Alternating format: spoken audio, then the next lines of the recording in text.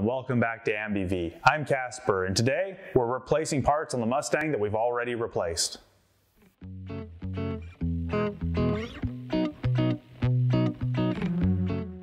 Today we will be replacing the brake booster on the 1967 Mustang again.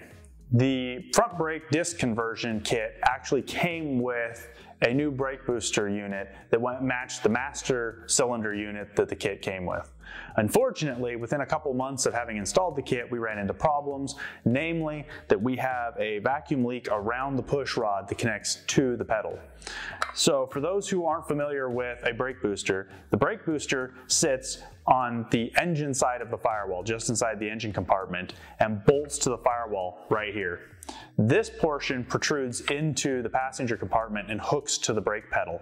When you step on the brake pedal, it pushes against this plunger, which passes through a diaphragm here and into the engine compartment, where it pushes against the master cylinder, activating the hydraulic brakes.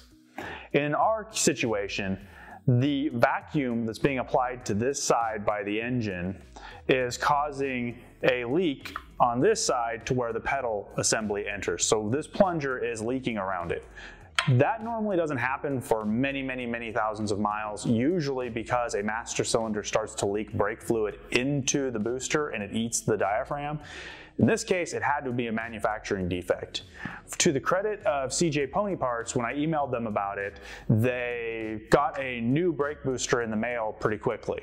Unfortunately, a few negative points toward them. They never told me they were actually sending this and never followed up on what was actually happening. So I didn't know I was getting a new brake booster, so I, would almost ordered a new one. So ideally, it would have been nice to have known ahead of time that this was gonna show up and not just have it sitting on my door. But now that we've got it, we get to go through the joys of replacing it. So let's get under the hood and see what we're dealing with. As you may or may not be able to see, the brake booster is located right here, just ahead of the master cylinder on the firewall. There is a vacuum line run to the unit from the engine that I'll have to remove, as well as removing the master cylinder in order to get the brake booster out of here. Unfortunately, I don't know if I have enough room in my lines to move the master cylinder around without disconnecting it, but I'm hoping to keep the fluid in the system and not have to deal with that as an additional issue. So let's start by hunting down what tools we will need to detach this thing from the firewall.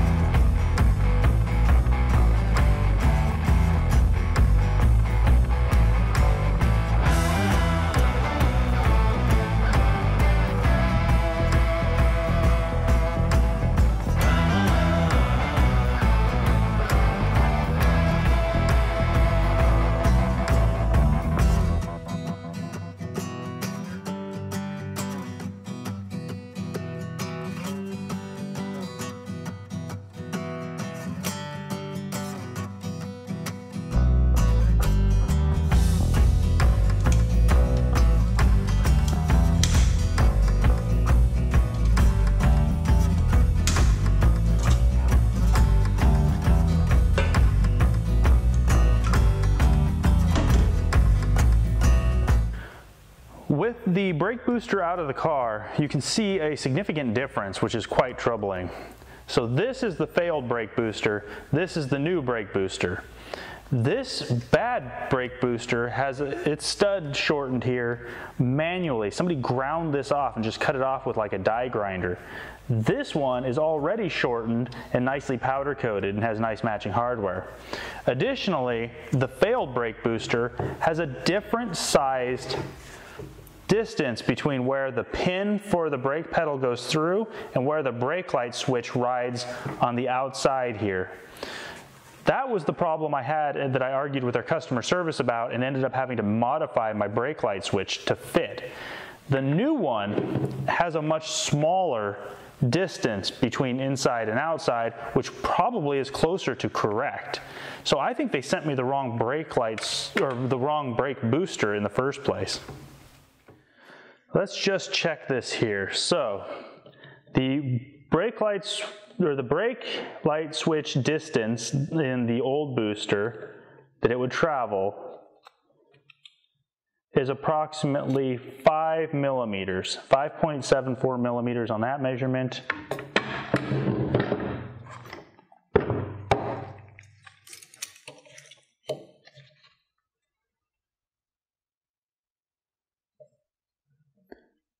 5.46 millimeters at the narrowest point I can get to.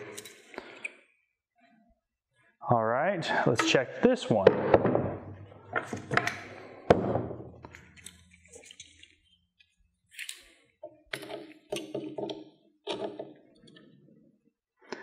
Three point five seven millimeters. So this one is a full millimeter smaller than this one, which is almost exactly how much I had to grind off of my brake light switch to make it work in the other unit. That tells me that unit was never supposed to fit with this car's setup. So now we have a different problem. We have the issue of I had to modify components to get that incorrect brake booster to fit. So before we install this completely, we need to start testing out to see if the brake light switch will even work or if I need to find a new brake light switch. So let's go ahead and get back into the car.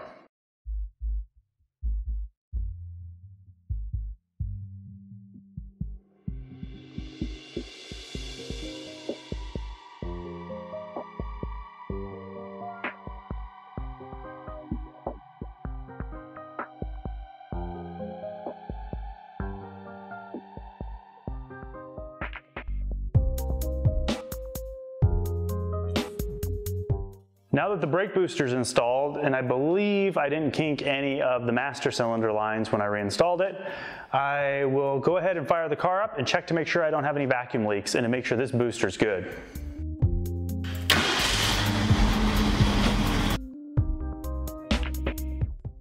The test was a success. The booster is not leaking. The master cylinder seems to function. The pedal has a good feel to it. I had to replace the brake light switch with a brand new unit that I had sitting on the shelf. The one that I had modified to work with the previous booster was a no-go. It was way too loose to engage properly.